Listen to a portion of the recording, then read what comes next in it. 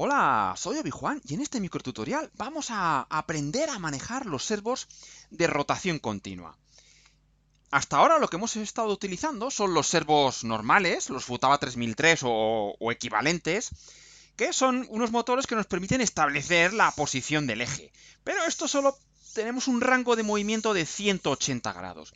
La ventaja de los servos, aparte de su control por posición, mecánicamente hablando, es que son muy compactos. Tenemos aquí esta caja que la podemos acoplar fácilmente en nuestras piezas para hacer nuestros robots.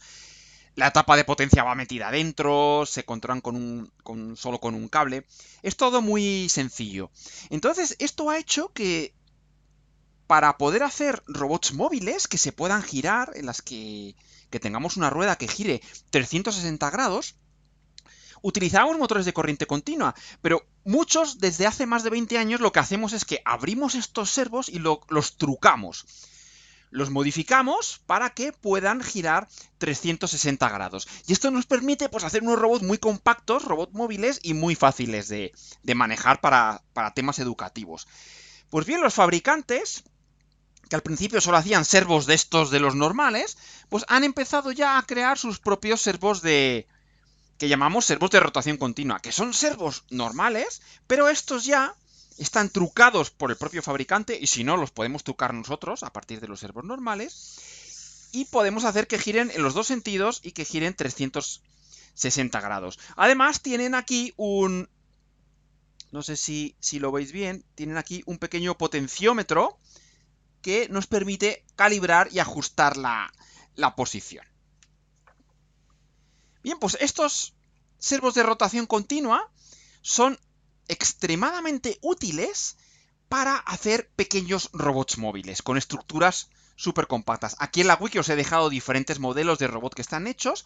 El servo que nosotros vamos a utilizar en este tutorial, podéis utilizar cualquier otro servo, lo que pasa que yo lo he preparado específicamente para este servo, he hecho el controlador para este servo, para el Spring RC, el SM S4303R, que veis que es un servo normal, lo típico, te viene con todas las coronas y con todo lo, todo lo que te suele venir con los servos, lo que pasa que es de rotación continua. Y con este, pues hay varios robots que lo utilizan, el, el el Renacuajo, el Evolution y todos los que vosotros queráis hacer. El modelo 3D de este servo está en las bibliotecas de piezas de FreeCAD, lo podéis descargar y lo podéis abrir con el FreeCAD y por si lo queréis ver. Yo además pues he creado una serie de piezas en 3D para que podáis adaptar este, este servo, pues para que lo podáis acoplar directamente en vuestros paneles. Entonces, por ejemplo, así he hecho una pieza para poderlo poner en, en vertical y luego otra pieza, pues para poderlo poner así en, en, horizontal, como lo, como lo tenemos aquí. Y con unas chinchetas, pues lo podemos acoplar a nuestros paneles y podemos friquear y trabajar con ellos para hacer nuestros experimentos. Aquí os he dejado los enlaces para que os bajéis las piezas y los, las imprimáis. ¿Cómo manejamos este controlador? Bueno, si os acordáis, con los servos teníamos un controlador, el controlador mínimo, el más sencillo, que lo habíamos llamado el servo bit. Pues para manejar los servos de rotación continua, tenemos un controlador, el más sencillo posible, que yo lo he llamado motor bit. Y lo he llamado motor porque en realidad, aunque es un servo, pero lo estamos manejando como si fuese un motor de corriente continua normal. Lo que pasa que ya nos viene integrado la caja reductora, la tapa de potencia todo dentro y es muy compacto para utilizar. Bueno, ahora ya con un solo bit no nos basta porque el servo se puede mover. Lo podremos mover en sentido horario, parado o en sentido antihorario. Eh, los servos de rotación continua podemos controlar la velocidad para que vaya más rápido y más lento, pero nosotros en este controlador mínimo, en el motor bit, solo utilizaremos tres estados. Por tanto, necesitamos dos bits para su control. Este es el, controlador de bit en Ice Studio. El que yo he hecho, lo he hecho específicamente para este servo, pero es muy fácil modificarlo para cualquier otro servo y lo veremos en, más adelante. Pues bien, tenemos dos bits de control, un bit que es el que me indica si el servo se está moviendo o está detenido, que es el servo, el bit de encendido, el bit de on, y tenemos otro bit que es el de sentido de giro, que me indica si, giramos en sentido horario o en sentido antihorario. Esto lo he representado aquí en esta tabla de verdad. Aquí tenemos los, estados, los tres estados del motor. Aquí teníamos el bit de encendido y aquí el bit de sentido de giro. Mientras el bit de on esté a cero, pues nos da igual lo que pongamos en el sentido de giro, que siempre va a estar detenido. Si le ponemos un 1, va a estar moviéndose y dependiendo de lo que pongamos en el, en, en el bit de control de la dirección, pues si ponemos un 1, giramos en sentido horario y si ponemos un 0, en sentido antihorario. Bueno, pues vamos a empezar a hacer ya nuestro, nuestro circuito Hola Mundo. Vamos a hacer con Ice Studio el controlador más sencillo que simplemente es conectarlo directamente a pulsadores para ver cómo funciona. Voy a hacer el circuito desde cero en Ice Studio para que veáis cómo es y luego ya cargaré directamente los ejemplos. Así que en la colección 15 os la instaláis y ya encontraréis que tenéis aquí en este menú en varios, en motor, aquí tenéis específico para este servo, tenéis el controlador MotorBit. Así que lo cargamos y aquí nos aparece el controlador con sus dos bits de control. Pondremos una salida, que la vamos a llamar servo, o bueno, o, motor, como queráis. La conectamos. Yo lo tengo aquí conectado a la salida de cero, donde tengo el servo de rotación continua conectado. Y ahora pues le vamos a poner como entradas, lo voy a conectar a dos pulsadores externos para ver cómo funciona. Uno lo ponemos aquí en el... Este lo tengo en el D13. Se lo ponemos para controlar el bit de encendido apagado y otro que lo tengo en el D11 que lo vamos a utilizar para controlar el sentido de giro. Y además a mí siempre me gusta conectarle pues unos LEDs testigos de LEDs de pruebas externos. Vamos a poner aquí uno que este está en el D12 para saber si los si los pulsadores están funcionando bien, si cada vez que lo apretamos pues se tiene que encender el LED y vemos que está todo funcionando correctamente. Este lo tengo, creo que lo tengo aquí en el, en el D10. Bien, pues este es nuestro circuito. Aquí tenemos nuestro montaje, los dos pulsadores, los dos LEDs de testigos y nuestro servo de rotación continua. Así que ahora ya vamos a cargar el circuito, lo sintetizamos y ya lo ponemos aquí. Es importante también que estos servos de rotación continua, con este controlador como los estamos controlando todo o nada, es decir, que pasamos de la velocidad mínima a la velocidad máxima de golpe, pues puede ocurrir que, esto, pues hay unas, eh, unas demandas instantáneas de corriente muy fuertes, hay unos picos de corriente, que puede ser que, el control, eh, la alimentación de, que venga del USB no os dé suficiente, no pueda absorber estos picos, y por tanto el servo no se os mueva bien, con lo cual ya directamente le vamos a conectar aquí alimentación externa, una pila de 9 voltios, para poderle poder absorber ya esos picos y poder hacer que funcione correctamente. Así que esta es la configuración que yo tengo.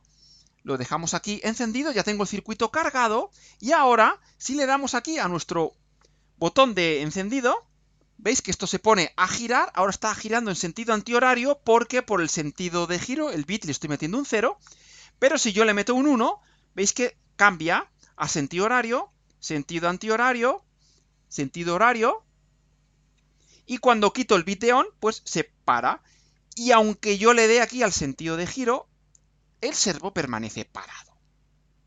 ¿Veis? Pues este sería nuestro circuito Hola Mundo para poder mover nuestro, nuestro servo de rotación continua. Vamos a mover ahora dos servos de rotación continua. Entonces aquí en este panel lo que hago es que conecto otro servo más y ahora le voy a cambiar también y el sentido de giro, en vez de este pulsador, lo voy a hacer más fácil conectándole un, interruptor externo de manera que sea como una palanca de cambios que me permita establecer el, sentido de giro. Y vamos a controlar estos dos servos de manera que giren en sentidos opuestos. Este ejemplo ya lo tenemos, lo podéis acceder en la colección. Sería el ejemplo 2 de los dos motores queremos hacer que giren en sentidos contrarios. Bien, pues es muy sencillo, es la misma configuración que teníamos antes, pero ahora le metemos una puerta inversora. De manera que aquí tenemos el interruptor de sentido de giro, que si está a 0, pues a, este le va a llegar un 1, con lo cual gira en sentido horario, y este le va a llegar un 0, con lo cual gira en sentido antihorario. Y el pulsador de on se lo vamos a conectar para que directamente llegue a los dos motores. Así que vamos a sintetizar este circuito, lo cargamos y ahora ya le damos aquí al on y veis cómo este está girando en sentido horario y este está girando en sentido antihorario. Si yo ahora cambio los sentidos de giros, ¿veis? Pues giran en sentidos contrarios con este switch. Y si en cualquier momento quito el motor de encendido y apagado, lo pongo a cero, pues se paran. ¿Veis? Este sería el funcionamiento mínimo. Pues con esta cosa así ya tan sencilla tenemos dos motores de corriente continua normales con los que podemos empezar a construir nuestros robots. Y el robot, ahí esto se me ha olvidado comentároslo, estos servos de rotación continua tienen una cosa que se llama la, calibración, y es que cuando, si vosotros le cargáis este programa Hola Mundo de, de mover el servo, que esté parado, cuando no estáis apretando el pulsador debería estar parado, pero puede ocurrir que no esté bien calibrado el servo y que en ese momento se os esté moviendo ligeramente, o a lo mejor se os está moviendo mucho. Pues ese control lo cambiáis con este potenciómetro. Y colocáis el servo y sin apretar ningún pulsador ni nada, le dais aquí a giráis este potenciómetro hasta que el servo esté parado. Y ya cuando, cuando esté parado, quiere decir que lo tenéis perfectamente calibrado. Esto sobre todo se utiliza mucho cuando eres tú el que trucas tú tu servo. Coges un, un servo Futaba 3003, lo trucas, bien, pues vas, cambiando los valores hasta que en el cero está parado. Bueno, pues ya con esto podemos empezar a construir nuestro primer robot móvil. Y aquí he creado este, este robot que lo he llamado el Icebot, que es un robot extremadamente sencillo. Esta es la versión 0.1. Tenéis toda la información también aquí en esta otra wiki que os he dejado el enlace ahí. Es un robot Hola Mundo que está hecho, diseñado con FreeCAD 017 y se caracteriza porque tiene muy poquitas piezas impresas y está pensado para que sea tan sencillo que lo podáis modificar vosotros y lo podáis ampliar y podáis crear vuestros propios vuestros propios robots. Este es el despiece, veis que tiene aquí los dos servos de rotación continua y simplemente unas piezas impresas, colocáis los dos servos en esta posición, ponéis estas piezas aquí para, para juntarlos los dos y luego usamos unos pasadores para ajustar las piezas y le colocamos aquí las, las ruedas. Una cosa que he hecho que está muy bien con este robot es que las ruedas, que serían estas, están impresas le ponéis una junta tórica, esta junta tórica, que esta la compráis en, ferreterías o a través de internet, la, la, colocáis aquí y esta rueda se puede acoplar directamente sin utilizar tornillos. Lo ponéis aquí en el eje del servo y entonces sin utilizar tornillos la podéis colocar, la podéis poner y la podéis quitar. Y lo mismo la estructura, la estructura es simplemente tenéis estos dos servos, pues los ponéis así y con esta pieza impresa que tiene aquí estos taladros, pues esta pieza la colocáis, la colocaríais. Así. Y luego le ponéis los pasadores y otra pieza por aquí delante y ya tenéis vuestra estructura mínima para construir el, el Icebot. Por supuesto, esta estructura está pensada para que la podáis mejorar. De hecho, no tiene rueda loca, no tiene un tercer punto de apoyo. Y, y el cómo conectamos la, la electrónica, la Aizum Alhambra, se la colocamos aquí con unas gomas. Entonces, pues está pensado pues, para, que, para que lo podáis vosotros mejorar todo. Bueno, pero yo, estas serían todas las piezas que necesitáis. Las de colores, esta, esta, las verdes, estos son los pasadores, todas estas son piezas impresas.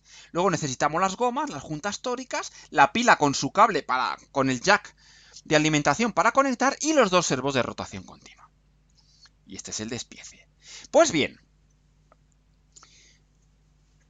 nosotros cuando, puesto que cada rueda tiene tres estados, puede estar parada eh, girando en sentido horario o girando en sentido horario, en total vamos a tener nueve movimientos distintos de... nueve combinaciones posibles, incluyendo la de parado. Aquí os he puesto las ocho combinaciones posibles que hay para mover el robot. Entonces aquí tendríamos Este sería el robot, que ahora lo, vamos a... Ahora lo vamos a mover. Este es el robot, el Icebot ya terminado, así con su pila de 9 voltios puesta aquí, que la podéis poner aquí o la podéis poner aquí detrás, con sus gomas y sus cables. Bien, por los movimientos básicos, tendríamos que esto puede ir cuando las dos ruedas giran en este sentido, pues esto va hacia adelante, adelante. Y atrás puede hacer un giro así a la izquierda y un giro a la derecha. Luego tiene uno que llamamos el, arco, que es que si dejamos parada esta rueda y movemos la otra, pues esto se mueve así hacia adelante y hacia atrás. Y otro movimiento en arco que sería así hacia adelante y hacia atrás. Pues antes de empezar a, a mover el robot, os quiero contar una cosa para que entendáis este mecanismo. Este tipo de robots se denominan robots con estructura diferencial. Y es que en realidad lo que tenemos son dos motores independientes en los que cada uno controla una rueda de manera independiente. Esto se llama, la, esto es la estructura diferencial. Pues fijaros en una cosa. Yo tengo aquí el ejemplo que he puesto antes. Ahora, en vez de un pulsador, le voy a meter un switch para no tener que estar apretando el pulsador. Lo voy a dejar así encendido. ¿Veis que ahora el motor derecho está girando en sentido horario y el izquierdo en sentido antihorario? Pues fijaos lo que ocurre cuando yo pongo esto así, que sería la estructura del Icebot. ¿Veis que en este sentido las dos ruedas estarían girando en lo que aparentemente para nosotros es el mismo sentido. Y esto haría que el robot fuese hacia adelante. Pero en realidad, por cómo están colocados los servos, cada motor está girando en un sentido contrario. El derecho en el sentido de las agujas del reloj y el izquierdo en sentido antihorario. Pero al colocarlos de esta manera, el robot con esto avanzaría. Esto lo comento porque cuando tú ves el robot así, que, está avanzando, parece que las ruedas giran en, sentido eh, en el mismo sentido, pero en realidad están girando en sentidos opuestos.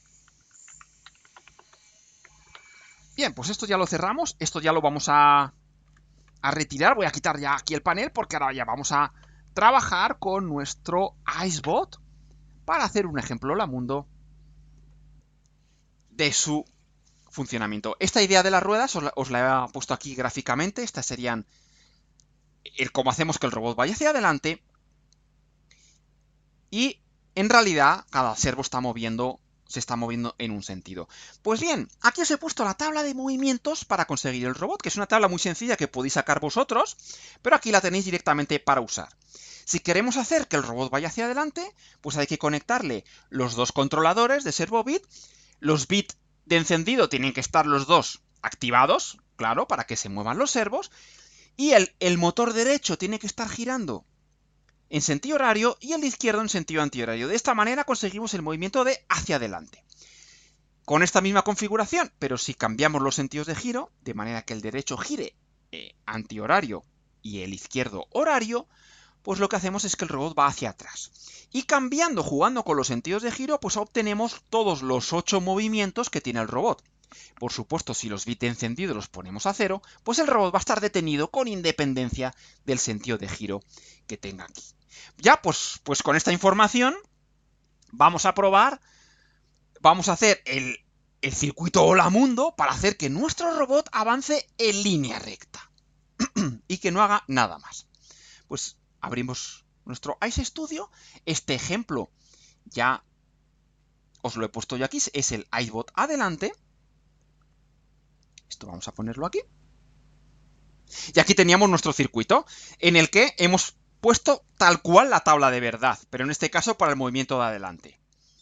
¿Veis? este sería el motor de la rueda derecha, le ponemos un 1 para que vaya en sentido horario y un 0 aquí para que gire en sentido antihorario. Pues ahora conectamos nuestro Icebot. Lo conectamos al ordenador. Descargamos nuestro circuito y lo voy a apagar, lo voy a desconectar de, del ordenador y ahora le damos aquí al, botón de al switch de encendido que es muy cómodo en la placa. Es muy cómodo para trabajar con robot porque así tenemos la, la FPGA funcionando, pero los motores están desconectados. Ahora, al darle aquí, ¿veis? Esto se pone a moverse en línea recta. Claro, es un, es, un, ejemplo muy sencillo que no hace nada más, solo ir en línea recta. Pero nos viene muy bien para probar que la mecánica del robot y todo nos funciona adecuadamente. Bueno, pues ahora el siguiente ejemplo vamos a hacer que este robot haga una pequeña secuencia. En vez de estar todo el rato con bits fijos conectados aquí, vamos a hacer que el bit de encendido de los motores cambie de la manera que sabemos hacerlo muy fácilmente con el, nuestro corazón. Así que vamos a meter este segundo ejemplo en el que el robot va a estar durante un segundo moviéndose hacia adelante, un segundo parado, un segundo avanzando, un segundo parado. Y eso es muy fácil hacerlo con este circuito en el que los sentidos de giro los hemos dejado fijados, porque queremos que el robot solo esté hacia adelante o parado, y el bit encendido y apagado, ahora, en vez de fijarlo a un bit a uno, lo conectamos a nuestro corazón, que a, que a través de una tortuga genera una señal en la que durante dos segundos, tiene un periodo de dos segundos, de los cuales durante un segundo va a estar a 1 y durante un segundo va a estar a 0 un segundo a 1, un segundo a 0, con lo cual va a estar un segundo avanzando, un segundo parado. Pues lo vamos a conectar y lo vamos a cargar para que lo veáis. Sintetizamos nuestro circuito, lo cargamos en la placa y ahora lo encendemos y veis que ahora avanza, se para, avanza, se para, avanza, se para, avanza, se para. Por supuesto, le podemos quitar el cable para que sea un, robot autónomo, que esto es lo divertido de estos robots. Y hemos creado nuestra primera secuencia súper sencilla para hacer que este robot se mueva. Y ya como último ejemplo, también así, ejemplo la mundo súper sencillote, vamos a hacer que el robot se mueva teniendo en cuenta un estímulo externo, un bit externo. Así que ahora le vamos a meter un bit externo, el más sencillo que conocemos, que es meterle un pulsador externo. Y haremos un circuito que el robot se ponga a avanzar cuando se ponga... Cuando le llegue... Cuando el bit del pulsador se ponga a 1. Se lo voy a conectar aquí. Esto lo vamos a conectar al ordenador. Vamos a cargar el ejemplo que sería ya el último ejemplo. Icebot pulsador, que veis que la configuración es exactamente la misma, que el robot vaya en línea recta, pero los bits de encendido están conectados directamente al pulsador, de forma que al apretar el pulsador, pues el robot avanzará y cuando lo soltemos se parará. Y como siempre le he metido aquí un LED de testigo para comprobar que el pulsador está funcionando correctamente, así que le doy al control U, sintetizamos nuestro diseño, lo cargamos activamos, le quito el cable del cordón umbilical y ahora está parado, ¿veis? Y cuando le doy al pulsador, pues se mueve. ¿Veis? Así ya podemos hacer nuestras pruebas con el pulsador. Fijaos cómo se enciende el LED, yo siempre lo pongo como testigo para comprobar que esto está funcionando. Y tenemos nuestro primer robot que está controlado por lo que podría ser un primer sensor muy básico que simplemente transmite un 1. Ahora la idea es ir combinando estos bits de entrada que en vez de pulsadores pues sean otro tipo de sensores, sensores de infrarrojos, por ejemplo, o sensores de contacto. Y en función de lo que valgan estos sensores de entrada, estos bits de entrada, pues hacer circuitos para que cambien los movimientos del robot y podamos implementar pues comportamientos sencillos. Pues ya llegó la hora de que practiquéis vosotros. Yo aquí os, os recomiendo que, que juguéis. Aquí, aquí solo os he enseñado cómo se hace el movimiento hacia adelante, pero podéis practicar con los giros, con los arcos, con todos los movimientos que hemos hecho. Y que, y que aprendáis a manejar estos robots. Así que como ejercicio, yo os propongo un primer ejercicio muy sencillo en el que vamos a utilizar solo un servo de rotación continua, que lo vais a poner ahí en vuestro, en vuestro panel, y lo que quiero es que hagáis que este motor esté en cuatro estados. Que esté durante dos segundos parado, que luego gire en sentido horario, otros dos segundos parado y otros dos segundos girando en sentido antihorario y se vuelva a repetir la secuencia. Todas, todos los estados son de dos segundos. Ya sé que algunos tenéis electrónica, sabéis un poquito más de electrónica y si te plantean este problema, lo primero que te viene a la cabeza es hacer un, autómata de estados o hacer una cosa así muy complicada. Pero yo os propongo que lo hagáis solo con, con los componentes que ya conocemos, los que vienen en la colección. Y hacerlo solo con tortugas y con corazones. Por supuesto que más adelante lo haremos de una manera más avanzada y más sencilla, pero ahora lo podéis hacer con estos componentes. Como ejercicio número 2, pues os propongo que ampliéis este primer problema de la secuencia del servo a dos servos. Y que esta misma secuencia hagáis que se mueva en los dos servos de manera alternativamente. De forma que primero esté el primer servo en vuestro panel, que esté parado, sentido horario, parado, sentido antihorario, y luego se mueva el segundo servo. Y el primero permanezca parado. Parado, eh, sentido horario, parado, sentido antihorario, y luego otra vez volvemos al primero que pase de uno a otro. Aquí ya tendréis que utilizar multiplexores para combinar entre uno y otro.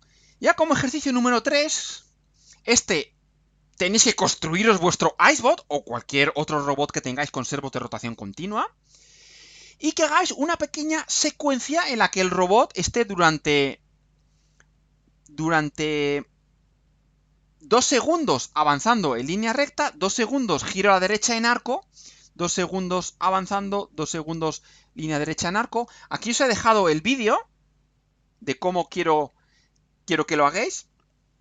¿Veis? Aquí estaría el robot girando en arco. El giro en arco, una de las ruedas está parada. ¿Veis que esta rueda está avanzando, luego para? Sigue avanzando. La otra rueda está siempre avanzando. Pero el resultado final es que el robot va, avanza y gira, avanza y gira, avanza y gira. Es una secuencia muy sencilla, pero veis que el resultado final pues es muy, es muy interesante, ¿veis? El, el, robot pues, se está moviendo con un movimiento bastante suave y es muy interesante. Así que ya podemos empezar a construir robots, empieza la parte divertida, iremos añadiendo sensores, seguiremos aprendiendo electrónica digital, así que esto es todo por, por mi parte. Y esto es todo desde Obi-Wan Academy y que los robots libres os acompañen.